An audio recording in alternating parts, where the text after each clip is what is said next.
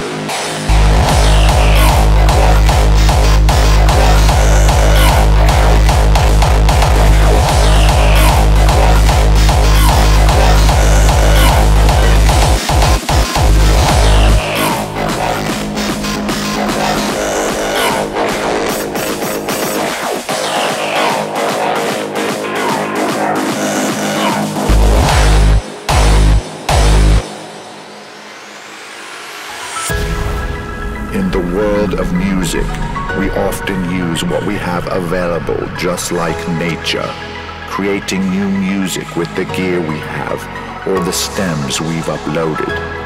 Imagination reinvents and sounds are brought to life. Through adaptation, music survives.